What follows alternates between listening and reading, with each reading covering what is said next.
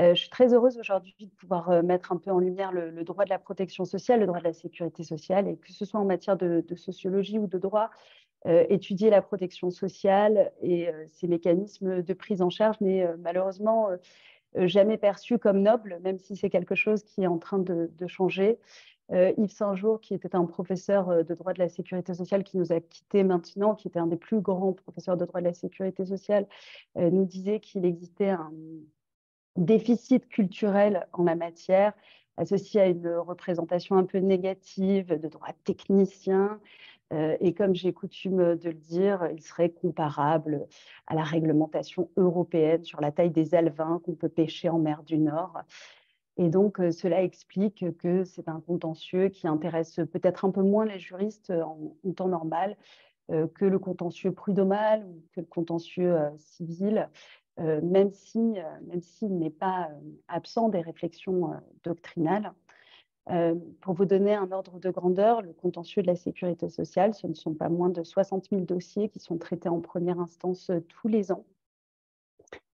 Et malheureusement, c'est un contentieux qui est, qui est méconnu, d'où l'importance de mener cette recherche et d'où notre volonté d'aboutir à ce rapport.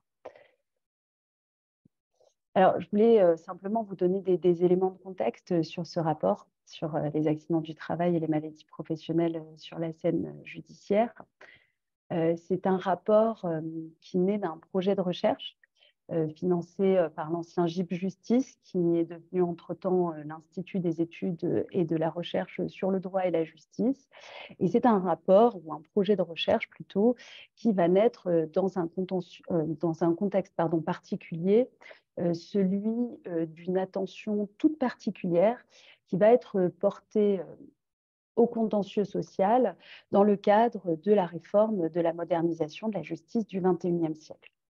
Alors, dans le cadre de cette réforme, vous vous souvenez euh, certainement de l'ordonnance du 18 novembre 2016, dans le cadre de cette réforme, on va voir fleurir un certain nombre de rapports euh, confiés à des magistrats ou confiés au ministère.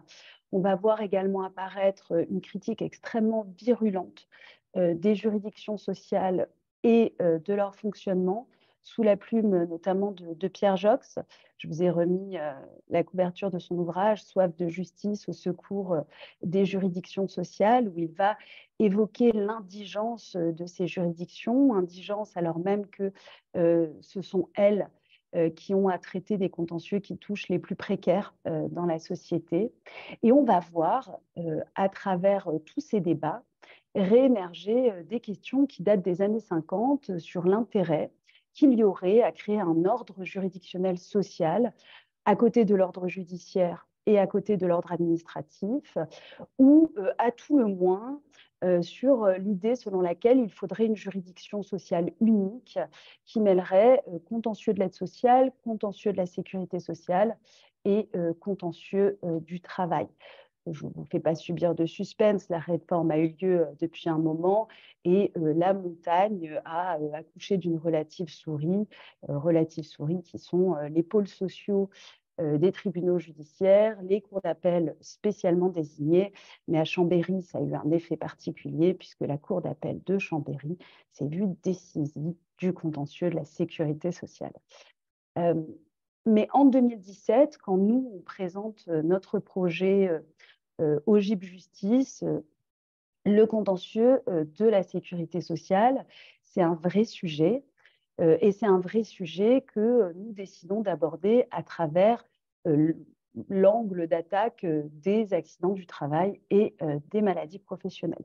Alors aujourd'hui, c'est moi qui suis invitée pour vous parler, pour vous parler de ce rapport, mais ce rapport, c'est avant tout le fruit de rencontres. Alors d'abord entre Delphine Serre, professeure de sociologie à l'époque maîtresse de conférences à l'Université Paris 1 en Sorbonne et de moi-même, nous étions au poste au même endroit, et euh, de Xavier Omran, qui est aujourd'hui euh, professeur de droit privé à l'Université des Antilles, mais qui, euh, à l'époque, venait tout juste de soutenir sa thèse. Et en mêlant nos regards de sociologues et de juristes, notre objectif était d'éclairer ce que ces contentieux de la santé au travail dans la sécurité sociale représentaient. Alors statistiquement, subjectivement et professionnellement pour les différents acteurs impliqués. Et donc ce rapport, si vous en prenez connaissance, il offre une analyse sociologique du travail judiciaire et des pratiques de jugement. Il traite des effets de la judiciarisation de la reconnaissance des origines professionnelles des atteintes à la santé, et notamment sous l'angle des inégalités, inégalités de classe, inégalités de sexe. Il traite également de la place de la sécurité sociale et des CPAM dans ces processus. Et dans sa partie juridique, nous avons étudié les conditions dans lesquelles la faute inexcusable de l'employeur est reconnue, alors tant devant la Cour de cassation que devant les juridictions du fond et son incidence en matière d'indemnisation. Et il n'est jamais facile de manier l'interdisciplinarité. Euh, quand nous avons commencé cette recherche, nous n'avions pas les mêmes méthodes de travail, nous n'avions pas le même langage, euh, n'avions pas les mêmes grilles de lecture et je ne suis pas sûre qu'on les ait aujourd'hui. Euh, faire dialoguer les disciplines et faire dialoguer des disciplines différentes, c'est toujours une gageure. c'est déjà le cas dans ce qu'on pourrait appeler le droit comparé interne, euh, par exemple, lorsqu'on essaye de se comprendre entre euh, spécialistes de droit de la responsabilité civile et spécialistes de droit de la sécurité sociale, euh, concilier nos approches revient toujours à démêler des nœuds et cela semble relever de la même difficulté que l'ouverture, je ne sais pas si vous voyez, de ces boîtes à secrets japonaises qui vont nécessiter du temps, des efforts, et beaucoup d'écoute euh, mutuelle pour, euh, pour surmonter les incompréhensions. Alors, faire dialoguer une sociologue avec des juristes, c'est atteindre encore un autre niveau. Et je dois dire qu'il lui a fallu euh, beaucoup, beaucoup de patience et que nous lui en serons toujours reconnaissants. Alors, pendant ces années de recherche qui ont été, je dois le préciser, assez brutalement stoppées par la crise sanitaire, euh, nous avons euh, mobilisé différentes méthodes de recherche, vous les voyez euh, ici citées. Et je vous renvoie au rapport, hein. il y a un chapitre entier, le premier chapitre, qui, qui va détailler ces différentes approches. Mais ce qui était intéressant dans notre démarche, je pense, c'est que nous avons mené des, des, enquêtes de terrain en allant à la rencontre des acteurs. Nous les avons interrogés. Donc, vous voyez, il y a des notes d'audience, des entretiens, évidemment des corpus de décision mais euh, les magistrats euh, se sont prêtés euh, à nos entretiens avec beaucoup de bonne volonté, aucune langue de bois, et ces entretiens, ils sont très largement retranscrits dans le rapport. Je vous invite vraiment à aller en prendre connaissance. toutes ces interactions avec les acteurs de terrain nous ont considérablement éclairés. mais je le disais, hein, au retour de la crise, les acteurs avaient changé, ça a constitué une véritable difficulté euh, pour notre recherche parce que euh, finalement, la démarche que nous avions impulsée a été très brutalement stoppée et euh, la qualité, je dois dire, de nos résultats s'en est un peu ressentie malheureusement. Alors, si aujourd'hui, je vais vous parler de la faute inexcusable de l'employeur, puisque c'est le sujet pour lequel j'ai été invitée, faute inexcusable de l'employeur et sa réparation d'un point de vue juridique, je vous invite vraiment toutes et tous à prendre connaissance du travail extraordinaire qu'a fait Delphine Serre, donc sociologue, sur les quatre chapitres que, j'ai surlignés et qui constituent en vérité la véritable originalité de ce rapport, qu'il s'agisse de ce que c'est qu'être juge dans une juridiction sociale, qu'il s'agisse de la place des assesseurs dans les juridictions sociales, parce que ça, ça reste euh, une des particularités du contentieux de la sécurité sociale, cette collégialité entre un magistrat professionnel, un assesseur qui représente les employeurs et un, assesseur qui représente les salariés. Ce rapport dont je vous parlais tout à l'heure entre les justiciables et les caisses primaires d'assurance maladie, et puis euh, toujours euh, ces questions, ces questions d'inégalité. Euh, je vous le redis, le rapport est euh, disponible gratuitement sur le site de l'IERDJ. Euh, Il a reçu des échos qui nous ont beaucoup touchés tous les trois. On ne s'attendait pas trop à ce qu'il ait un, un, retentissement. il a donné lieu, par ailleurs, je vous le précise aussi, à un grand colloque à Strasbourg en novembre dernier, dont les actes seront publiés avant l'été dans la revue Droit social chez Dalloz. Et là encore, cela va mener, pardon, cela concerne à la fois des approches sociologiques et à la fois des approches juridiques. Voilà. Et donc, euh, comme cela vous a été annoncé, euh, je voudrais revenir euh, sur ce que nos recherches nous ont appris sur la faute inexcusable, sur la faute inexcusable de l'employeur. Alors, pourquoi est-ce que nous avions décidé en 2017 de nous concentrer sur elle? Eh bien parce que son contentieux est porteur de divers enjeux, à la fois humains, à la fois financiers et en termes de recherche. Alors, en ce qui concerne les enjeux humains, euh, le droit des risques professionnels, c'est un droit qui a chassé la faute dès 1898.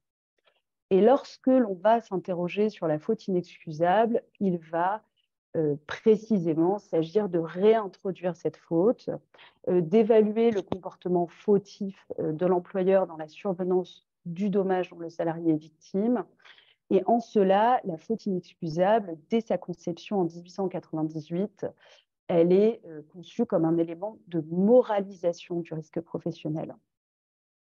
Et plus encore, elle va être mobilisée comme un instrument de prévention euh, en vertu d'un lien qui existe dans le droit de la sécurité sociale qu'on appelle le lien réparation-prévention, c'est-à-dire qu'on s'imagine que si les employeurs ont peur de payer très cher, alors ils vont mettre en œuvre la prévention. Donc, moralisation des comportements et euh, prévention des risques. Euh, je vous le disais, si les employeurs ont, peur de payer très cher, il y a des enjeux euh, financiers, économiques, ce serait plus exact, pour, pour cette faute inexcusable, puisque pour la victime, et on va le voir tout à l'heure, c'est le seul dépassement possible de la réparation forfaitaire. Et puis pour l'employeur, c'est une forme de responsabilité personnelle puisque il est comptable sur ses, euh, sur ses propres données. Et je vous précise immédiatement, parce que vous êtes tous au fait euh, euh, des dernières actualités, que évidemment ce travail a été effectué bien avant le revirement de janvier 2023 sur la nature juridique de la rente et que donc bien évidemment toutes nos recherches elles vont intégrer des décisions dans lesquelles la rente euh, conserve cette euh, espèce de euh, conception globalisante qui existait, qui existait jusqu'en janvier. Et donc notre chapitre 7 consacré à la réparation, il est en quelque sorte en partie un peu obsolète aujourd'hui, il faut le reconnaître. Et puis des enjeux en termes de, recherche juridique, parce que le contentieux de la faute inexcusable, c'est un contentieux qui relève essentiellement euh, de euh, l'appréciation souveraine des juges du fond. Et euh, ça nous permettait, à nous, chercheurs en droit, d'aller analyser ce qu'on a appelé l'effectivement jugé, aller véritablement voir quels étaient les critères qui étaient pris en compte par les juges du fond et comprendre les approches qu'ils retenaient de ces questions. Et je dois vous dire que ce qui est ressorti de la lecture centaines et centaines d'arrêts, euh, c'est que c'est un contentieux qui est très mal connu et qui est très mal maîtrisé euh, par les praticiens. Donc, euh, je ne sais pas qui, est le public aujourd'hui, mais si vous aviez envie de vous saisir du contentieux de la faute inexcusable, je peux vous assurer qu'il y a un véritable créneau qui manque de spécialistes. Donc, surtout, surtout n'hésitez pas. voilà. Alors, quels étaient euh, nos objectifs euh, lorsqu'on s'est lancé euh, dans la recherche sur des centaines d'arrêts sur la faute inexcusable Il s'agissait d'étudier les conditions concrètes de sa reconnaissance, je viens de vous le dire, devant ces juridictions chargées du contentieux de la sécurité sociale. Et puis, on avait un deuxième objectif qui était disséquer la méthodologie de l'indemnisation des conséquences de la faute inexcusable c'est-à-dire euh, étudier l'indemnisation d'un dommage corporel d'origine professionnelle devant des juridictions spécialisées et donc de comprendre finalement quelles étaient euh, les particularités de cette indemnisation euh, devant le juge de la sécurité sociale. Voilà. Alors, je vais venir maintenant aux enseignements. Alors, à gros traits, hein, le rapport, il fait 400 pages. Et moi, on m'a donné généreusement quelques minutes. Mais voilà, je vais revenir vraiment à gros traits. Et je pense que si, à la fin de cet exposé, vous ne m'avez pas entendu dire 500 fois « allez lire le rapport bah, c'est que j'aurais manqué ma cible. Mais vraiment, n'hésitez pas, n'hésitez pas à, aller lire, à aller lire ce rapport. Donc, si vous le voulez bien, je vais revenir très rapidement euh, d'abord sur les apports en matière de reconnaissance, donc la notion même de faute inexcusable, et ensuite euh, sur les apports en matière d'indemnisation. Euh, je vous précise aussi que là, je ne vais vous parler que de la faute inexcusable de l'employeur, parce qu'aujourd'hui, même s'il y a du contentieux, la faute inexcusable de la victime n'est plus jamais reconnue. Donc, il aurait été assez peu pertinent de vous en parler, mais si vous avez des questions ensuite, dans le cadre des échanges, je serais ravie d'y répondre. Alors, sur la notion même euh, de faute inexcusable, euh, la notion a, connu assez peu de remous euh, devant la Cour de cassation depuis les arrêts amiantes du 28 février 2002, ces fameux arrêts qui mettaient en exergue une pseudo-obligation de sécurité de résultat de l'employeur, qui n'a jamais été une obligation de sécurité de résultat. Euh, mais euh, finalement, aujourd'hui, on en est arrivé, depuis le 8 octobre 2020, à euh, une définition de la faute inexcusable que vous voyez sur cette slide, qui vous démontrera ce que je vous avais dit précédemment, que mes PowerPoints sont moches, que le manquement, euh, que la faute inexcusable, elle résulte du manquement de l'employeur à son obligation légale de sécurité et de protection de la santé. Alors, euh, exit hein, euh, l'obligation contractuelle de sécurité de résultat, c'est une obligation légale de sécurité et de protection de la santé la distinction qui est faite en droit social entre sécurité et santé, c'est que santé, ça intègre la santé mentale. Mais je pense que c'est des notions avec lesquelles, avec lesquelles vous êtes familier. Euh, et surtout, ce qui n'a pas changé depuis le 28 février 2002, ce sont les véritables éléments de la reconnaissance de la faute inexcusable lorsque l'employeur avait ou aurait dû avoir conscience du danger auquel était soumis euh, le travailleur et qu'il n'a pas pris les mesures nécessaires pour l'en préserver. Et en cela, on observe un alignement parfait entre les conditions de la faute inexcusable en droit de la sécurité sociale et euh, les euh, conditions de caractérisation d'un manquement de l'employeur à son obligation de sécurité en droit du travail, puisqu'en droit du travail, je vous ai mis l'arrêt Air France, l'employeur est tenu d'évaluer les risques. C'est l'article L4121-1, donc il doit se mettre en mesure de connaître les dangers auxquels il expose les salariés. Et puis, il doit euh, mettre en œuvre les mesures nécessaires pour les en protéger. Et donc, vous voyez euh, qu'on a euh, une correspondance parfaite entre la faute inexcusable dans le droit de la sécurité sociale et le manquement à l'obligation de sécurité de l'employeur en droit du travail. Voilà, alors je voulais vous donner, avant d'aller vraiment sur la notion et sur sa reconnaissance, je voulais quand même vous donner des chiffres. Parce que nous, les juristes, on a tendance à un tout petit peu oublier les, masses et les ordres de grandeur. Et donc, je voulais vous donner les derniers chiffres qu'on a de la sinistralité des ATMP et de ce qu'est véritablement le phénomène aujourd'hui de la faute inexcusable. Donc, 2021, ce sont les derniers chiffres connus. Je vous précise que 2021, on n'a toujours pas réatteint les chiffres qui préexistaient euh, à la crise sanitaire parce qu'avec euh, la banalisation du télétravail, on a une sinistralité qui est quand même moindre ou peut-être des accidents du travail qui sont moins déclarés. Euh, ça, les études, les études nous permettront de le dire un peu plus tard.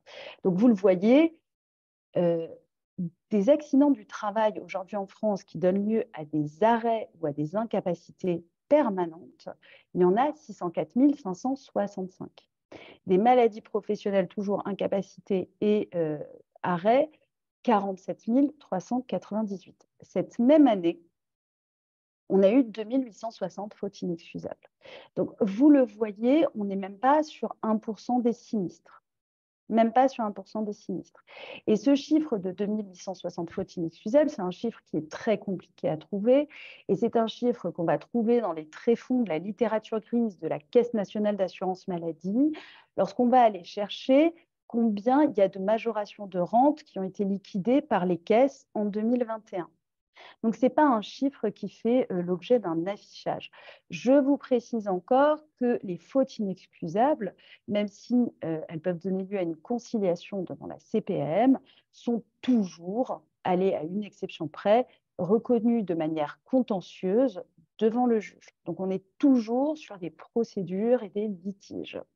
Vous le voyez également, euh, je voulais vous mettre ce chiffre pareil pour qu'on ait un ordre de grandeur, parce que le phénomène des ATMP, c'est un phénomène qui est excessivement massif, on ne le soupçonne pas forcément.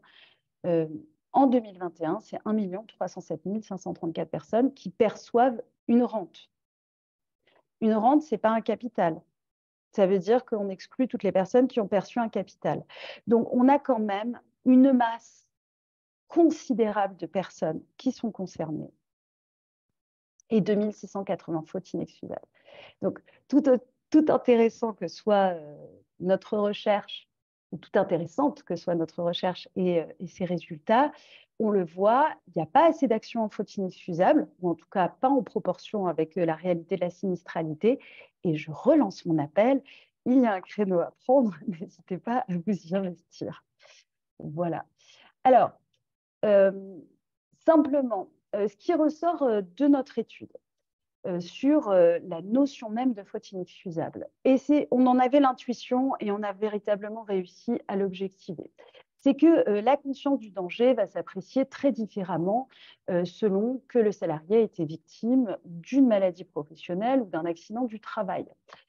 Pour les maladies professionnelles, vous le savez peut-être, euh, il existe des tableaux de maladies professionnelles qui sont annexés au Code de la sécurité sociale et qui vont finalement agir comme un répertoire des risques et des dangers dont on va estimer que l'employeur doit être conscient. Et donc, la conscience du danger sera appréciée très facilement en matière de maladies professionnelles.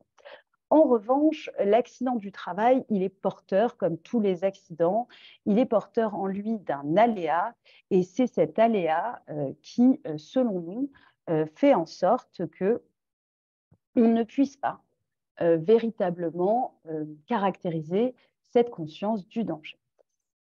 Alors, je vous ai remis les ordres de grandeur parce que tout à l'heure, je vous parlais de 280. Ah oui, je suis passée. En fait, j'ai fait, une... j'ai fait un mix, je suis un peu dyslexique. C'est 2681 fautes inexcusables euh, en 2021. En 2017, on était seulement à 1606. Donc, on voit qu'on est en augmentation. Et nous, ce qu'on a fait, euh, c'est qu'on a pris un échantillon. On a pris tous les arrêts qui ont été rendus par des cours d'appel en janvier, février et mars des années 2017 et 2018, euh, ce qui nous a donné 293 arrêts. Alors 293 arrêts, c'est un échantillon qui est relativement restreint pour en tirer des statistiques, mais euh, tirer des statistiques euh, des arrêts en faute inexcusable, si vous voulez, je vous l'expliquerai plus tard, c'est très compliqué. Et voilà, voilà ce qui en ressort. Ce qui en ressort, c'est que les actions en faute inexcusable sont très majoritairement des actions en matière d'accident du travail. Ça peut paraître logique, puisque des accidents du travail, il y en a dix fois plus que des maladies professionnelles. Donc 70% des actions, sont des actions qui concernent des accidents du travail et 30% des actions, sont des actions qui concernent des maladies professionnelles. Si on prend maintenant les chiffres de la reconnaissance, alors on se rend compte que euh, pour les maladies professionnelles, euh, la faute inexcusable va être reconnue à 81,1%, alors que pour l'accident du travail, cela ne concernera que 46,6% des sinistres pour lesquels l'action a été engagée. Et on arrive sur un taux de reconnaissance qui tourne autour de 57%. Euh, c'est ce qu'on avait retrouvé, nous, sur nos arrêts, et c'est ce que la Cour des comptes a retrouvé dans son rapport annuel la même année, donc, on était plutôt assez sûr de, nos résultats. Voilà. Donc, vous le voyez, cette distorsion très claire entre les reconnaissances en AT et en MP, elle est objectivable statistiquement, même si je le redis, 293 arrêts, ce n'est pas excessivement significatif. Mais elle montre que le mythe de l'automaticité de la reconnaissance de la faute inexcusable n'est qu'un mythe et elle nous montre que euh, la reconnaissance de la faute inexcusable reste une démarche beaucoup plus difficile pour l'accidenté du travail euh, que pour euh, le malade du travail. Alors, il y a cette idée de l'aléa dans l'accident, mais il y a aussi, et ça c'est ressorti de nos entretiens, le fait que les juges du fond continuent à vraiment avoir une imprégnation liée au terme inexcusable. Là, je vous ai mis un extrait d'entretien. inexcusable, ça veut dire inexcusable. Et donc, il y a des magistrats qui vont continuer à aller rechercher euh, cette notion de gravité du comportement fautif de l'employeur, quand bien même, depuis 2002, on n'a euh, plus du tout cette exigence dans la définition euh, de la faute. Et la deuxième chose que l'étude des arrêts nous a, nous a apprise, c'est une tendance très insidieuse à un glissement du danger dont l'employeur avait ou aurait dû avoir conscience du danger général, des dangers auxquels il expose ses salariés, à euh, l'existence d'un danger euh, particulier. Et je voulais, euh, à cet égard, vous parler d'un arrêt qui, moi, m'a particulièrement étonnée, qui est un arrêt de la Cour d'appel de Versailles du 8 février 2018. Et je pense qu'il est très parlant, justement, sur ce glissement d'un danger général vers un danger particulier. Alors, de quoi s'agit-il?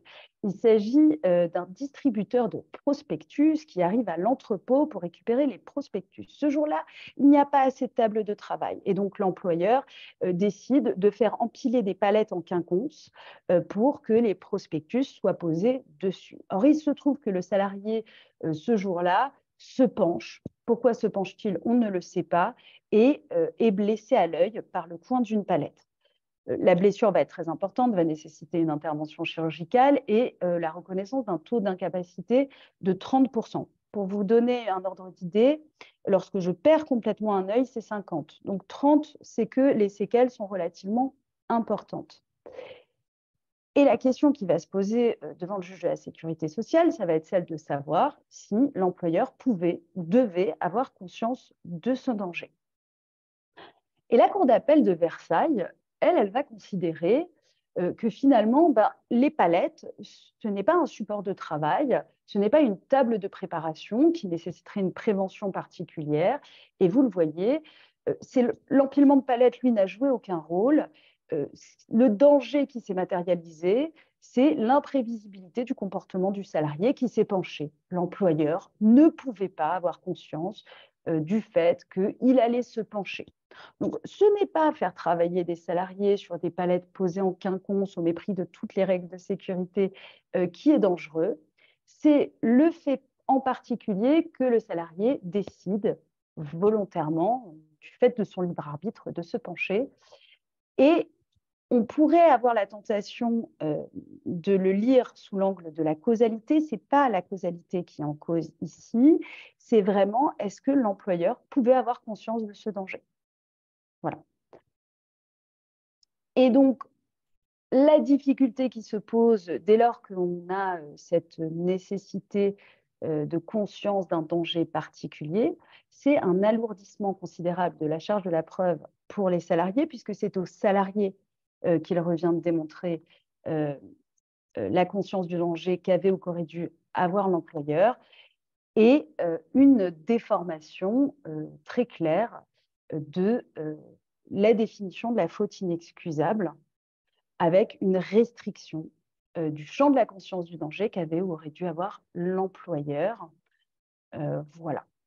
Ça, c'était vraiment un point sur lequel je voulais insister et c'est un point qui explique qu'en matière d'accident du travail, on est quand même de très grandes difficultés à faire reconnaître la faute inexcusable. Je voulais aussi, mais je vais aller très vite euh, parce que le temps passe, je voulais aussi vous dire qu'il euh, y a des obligations de prévention qui sont à la charge des employeurs. Euh, on a tout le livre 4 du Code du travail sur ces questions avec un très grand nombre d'obligations spéciales de sécurité. il y a notamment cette obligation de mettre en œuvre un document unique d'évaluation des risques professionnels qui doit être mis à jour tous les ans. Et l'étude des arrêts nous démontre deux choses. Euh, d'abord que ce n'est jamais plaidé. On ne retrouve pas dans les écritures, on ne retrouve pas dans les prétentions euh, le fait que l'employeur a manqué à cette obligation. Nous, en tant que juristes spécialistes, intuitivement, on se dit, la première chose que je vais vérifier, c'est est-ce qu'il y a un DURP, est-ce qu'il est à jour? Première chose que je vérifie. Eh ben, dans les arrêts, on ne le retrouve pas, donc ce n'est pas plaidé. Et quand on le retrouve, bah, finalement, les magistrats n'ont euh, cette obligation d'évaluation des risques qui devrait mettre l'employeur en conscience du danger. Euh, n'est pas, euh, pas très utilisée. On a de très longs développements là-dessus. Je, je, vous y renvoie. Alors, on en arrive à la réparation et je vais aller vite parce que vous avez vu, je suis très bavarde, mais j'aimerais laisser du temps pour les échanges. Je voulais seulement, à titre liminaire, vous rappeler ce que c'est que la réparation des ATMP, puisque, on l'a dit, 650 000 sinistres, 2861 fautes inexcusables, bon, donc même pas 1%. Donc ça veut dire que tous les autres, ils ont ça. Ils ont ça, ça veut dire en dessous de 10% un capital. Donc les sommes que vous voyez là, eh ben, elles ont dû être actualisées hier et je n'ai pas encore vérifié, mais c'est les sommes pour 2022. Donc, un capital qu'on touche une seule fois. Et puis, euh, lorsque je suis euh, sur un taux d'IPP supérieur ou égal à 10%, une rente viagère qui est calculée au moyen d'un taux que je multiplie par un salaire plafonné. Donc, on est quand même euh, sur des montants qui sont assez peu importants. Le taux d'IPP moyen en France, il est de 11%, mais comme ça, euh, ça, vous, euh, ça vous rappelait un peu à quoi on a droit. Alors, en matière de faute inexcusable, la Cour de cassation nous le rappelle très régulièrement, il n'y a pas lieu de considérer que c'est une réparation intégrale. Ce n'est pas une réparation intégrale, c'est une réparation complémentaire. Cette réparation complémentaire, elle est constituée par une majoration de rente euh, majoration de rente qui est plus insignifiante au fur et à mesure que les séquelles sont importantes. Et à cette majoration de rente, on va associer la réparation de préjudices complémentaires. Ceux du Code de la sécurité sociale que je vous ai rappelé là, euh, souffrance physique et morale, préjudice esthétique et d'agrément, euh, et perte, de diminution, perte ou diminution des possibilités de promotion professionnelle. Et euh, ce qui va être très particulier sur euh, la faute inexcusable de l'employeur, c'est cette fameuse formule du Conseil constitutionnel du 18 juin 2010 qui va venir nous préciser qu'en plus de ces quatre postes de préjudice qu'on vient de voir de l'article L452.3, il y a la possibilité de réparer l'ensemble des dommages non couverts par le livre 4 du Code de la sécurité sociale. Et cela impose un questionnement, euh, cette, euh, cette, décision, un questionnement qui n'existe pas dans le reste du dommage corporel, ou pas à ma connaissance, c'est que avant même de réfléchir euh, à l'indemnisation, je dois réfléchir sur la question de savoir si le préjudice que j'invoque est indemnisable au titre de la faute inexcusable. Et donc, ça impose une méthodologie, et là encore, qui est assez mal maîtrisée, je dois dire, d'après les arrêts euh, dont on a pris connaissance. Il faut commencer par se demander s'il est expressément euh, évoqué comme tel dans le Code de la sécurité sociale. Et il y a un poste de préjudice qui passe systématiquement à la trappe, c'est euh, l'indemnité forfaitaire pour toutes les personnes qui ont une incapacité totale, qui n'est jamais demandée devant les juges. Ça, on s'en est rendu compte. Et puis, euh, le deuxième questionnement, c'est euh, s'il n'est pas dans la liste de L452.3, est-il déjà indemnisé au titre du livre 4 Si oui, pas de possibilité d'indemnisation complémentaire. Sinon, éventuelle indemnisation complémentaire. Et je le redis, hein, c'est extrêmement mal maîtrisé. Nous, on a lu des centaines d'arrêts on a vu demander un peu euh, tout et n'importe quoi accepter tout et n'importe quoi ou rejeter tout et n'importe quoi. Donc, il y a vraiment une incompréhension sur ces questions.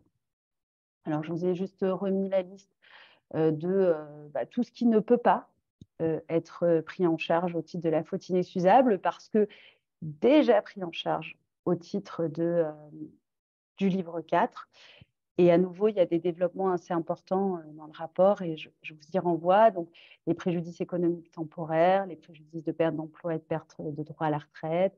On pourra y revenir après, l'assistance tierce personne post-consolidation, les dépenses de santé et évidemment, avant le 20 janvier 2023, euh, les souffrances physiques et morales et le déficit fonctionnel permanent. On a retrouvé par ailleurs euh, cette fois les postes qui sont indemnisables euh, parce qu'ils sont absents euh, du livre 4 du Code de la sécurité sociale. Et là encore, vous les voyez, euh, vous les voyez devant vous. je ne vais peut-être pas revenir sur chacun d'entre eux, simplement pour vous dire quand même que quand vous voyez cette liste, il faut que vous vous disiez qu'avant 2010, une victime d'accident du travail, victime d'une faute inexcusable de l'employeur, donc avant la décision du Conseil constitutionnel, bah, les frais d'aménagement de logement et de véhicule, c'était à sa charge. Et ça, ça peut nous sembler complètement ubuesque alors qu'on n'est que dix ans après. Voilà. et puis, bon, vous voyez, vous voyez un petit peu, voyez un petit peu cette liste. Le déficit fonctionnel temporaire, elle ne pouvait pas en demander la réparation non plus. On peut revenir après dessus si vous voulez. ça, je ne vais pas revenir dessus. Alors, parce que j'aimerais avancer. Ce qui nous a paru vraiment très intéressant sur l'indemnisation, et je vais aller vite, c'est deux éléments. D'abord, la question de l'expertise dans le cadre de cette indemnisation. Et ensuite, comment est-ce que les juges, finalement, évaluent l'indemnisation de ces postes de préjudice pour la faute inexcusable? Alors déjà, ce qui nous a beaucoup étonné, c'est que l'expertise n'est pas du tout automatique. C'est-à-dire que même pour la liquidation des préjudices en faute inexcusable, vous avez des juges, et les entretiens sont retranscrits dans le rapport, qui vous disent, moi, je n'ai pas besoin d'expertise. Je n'ai pas besoin qu'un expert me dise, il suffit qu'on m'ait apporté des certificats médicaux, les experts, finalement, ils ne m'apportent pas grand-chose. Vous avez de nombreux passages sur les mauvaises expertises. Je vous laisse en prendre connaissance. Et donc, euh, bah, finalement, euh, finalement, ça n'apporte pas grand-chose. Et puis ensuite, vous allez avoir euh, des pratiques complètement différentes de l'expertise selon les juridictions. Pour certaines, elles vont considérer qu'il va d'abord appartenir à la victime de démontrer l'existence de son préjudice, donc l'existence et l'étendue. Et on ne va faire appel à l'expert que euh, pour la fixation du quantum. Et puis, vous avez d'autres juridictions euh, pour lesquelles on va estimer qu'il appartient à l'expertise d'établir cette fois euh, les préjudices. Donc, il suffit d'invoquer les préjudices et on renvoie sur l'expert qui, lui, établit si le préjudice existe ou non, et ensuite qui le chiffre. Et donc là, on voit qu'il y a une hétérogénéité régionale ou même locale entre les différentes juridictions. Je ne sais pas si c'est des choses que vous connaissez en droit commun. Ce serait intéressant de, voir euh, finalement euh, comment, euh, comment ça se pratique dans les autres contentieux. Alors sur les quantums, et c'est là où je vous disais, nous, on a eu un échec relatif parce que notre objectif au départ, c'était de prendre tous les arrêts et de faire des grilles Excel les juristes adorent Excel, et euh, de rentrer dans Excel les chiffres de toutes les cours d'appel pour être capable eh de les comparer entre elles. Et euh, là, ça a été l'échec cuisant parce que quand vous prenez 4096 décisions, eh bien, vous vous rendez compte qu'il y, a 4096 décisions différentes avec une singularité qui est irréductible. Les décisions, elles ne vous donneront pas toutes des montants. Les décisions, parfois, elles sont sur la reconnaissance, parfois, elles sont sur la réparation, parfois, elles sont sur un poste de préjudice, parfois, elles sont sur un autre, parfois, elles sont sur, le fait de diligenter un expert, parfois pas. On ne retrouve jamais l'âge des victimes, sauf quand elles sont décédées. Ça, c'est euh, quelque chose qui nous a complètement stupéfait. Donc, impossible de faire des comparaisons. On a des sommes, on ne sait pas d'où elles sortent. On a des montants qui sont globalisés. Donc, on a essayé, on a construit au moins dix grilles différentes. On a échoué lamentablement. Et euh, bah, c'était un résultat aussi.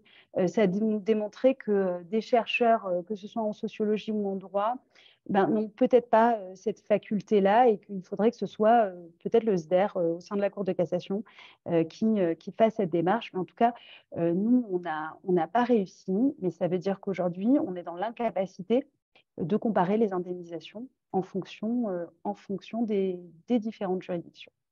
Et la dernière chose que je voulais euh, vous présenter, euh, c'était euh, la question de l'évaluation et de l'étendue de l'indemnisation. Et donc, il ressort des entretiens avec les magistrats, mais ça, je ne vais pas vous l'apprendre, vous avez l'habitude, qu'il y a cette tendance à utiliser des barèmes officieux, que ce ne sont pas les mêmes barèmes entre les différentes juridictions et que donc, selon que j'ai une faute inexcusable à Marseille ou à Colmar, ben, ce ne sera pas du tout les mêmes montants même si je vous l'ai dit, nous ne sommes pas en capacité euh, de savoir euh, finalement quelles sont les cours les plus avantageuses. Peut-être que les avocats qui plaident devant les différentes juridictions, eux, sont capables de le dire. On s'est rendu compte à travers les entretiens que euh, les montants étaient très différents selon que c'était un accident de la circulation ou un accident du travail dans la même juridiction Les magistrats nous le disent parce que ce ne sont pas les mêmes chambres ou ce ne sont pas les mêmes formations de jugement.